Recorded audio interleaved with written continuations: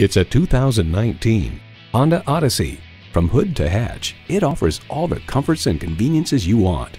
A great vehicle is comprised of great features like these. Active noise cancellation, power heated mirrors, dual zone climate control, smart entry key, front heated bucket seats, V6 engine, active grille shutters, gas pressurized shocks, and automatic transmission.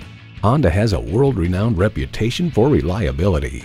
Driving is believing. Test drive it today.